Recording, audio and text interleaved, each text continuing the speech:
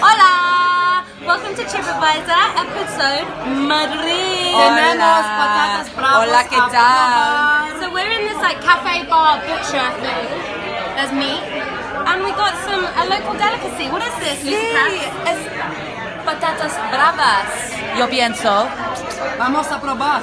The little triangles. Can you tell we've been practicing Spanish? I'm not a fan of that tomato sauce actually. Okay. Spicy. Yeah. Tomatoey, yes. Where's the garlic, man? Where's the fucking garlic?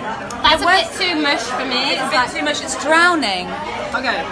I love patatas bravas, but for me this is maybe like a six. I would, I would actually even say a five. No crisp. No I crisp. wouldn't recommend. I wouldn't recommend to a Oh friend. shit! I just got some thoughts there. That's what I think of this place.